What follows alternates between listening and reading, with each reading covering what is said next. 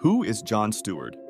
John Stewart in DC Comics is a Green Lantern and one of the many characters who have held the title. He's known for his exceptional willpower and ability to wield a Green Lantern power ring. His power level is determined by his will and imagination, as Green Lantern rings can create constructs limited only by the wearer's creativity.